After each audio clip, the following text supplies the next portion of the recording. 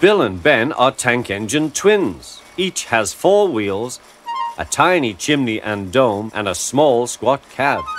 Their freight cars are filled with china clay. It is needed for pottery, paper, paint, and many other things. The twins are now kept busy pulling the cars for engines on the main line and for ships in the harbour.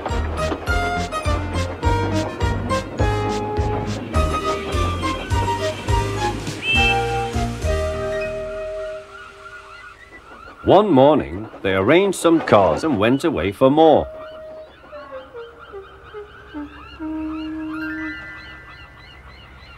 They returned to find them all gone. The twins were most surprised. Their drivers examined a patch of oil.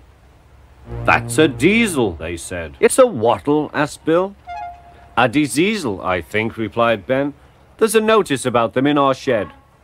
Coughs and sneezels spread diseases. You had a cough in your smoke box yesterday. It's your fault the diseasel came. It isn't. It is. Stop arguing, you two, laughed their drivers. Let's go and rescue our freight cars. Bill and Ben were horrified.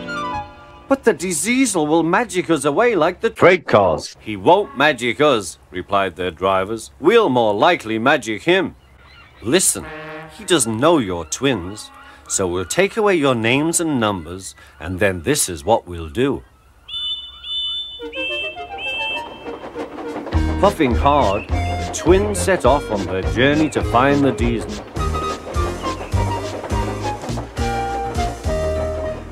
They were looking forward to playing tricks on him.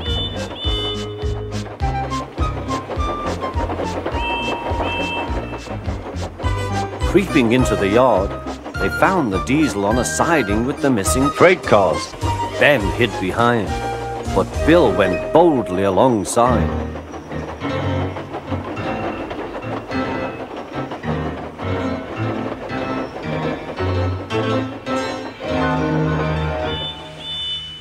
The diesel looked up.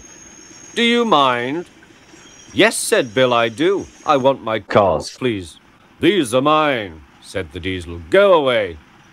Bill pretended to be frightened. You're a big bully, he whimpered. You'll be sorry. He ran back and hid behind the cars on the other side. Ben now came forward. Cars, stealer, hissed Ben. He ran away too. Bill took his place.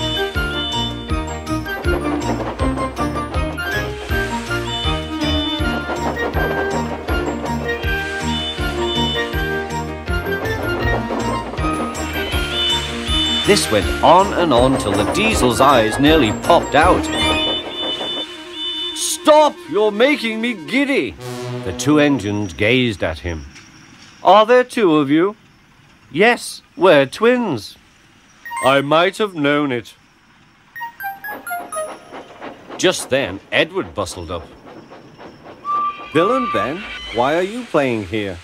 We're not playing, protested Bill. We're rescuing our cars, squeaked Ben.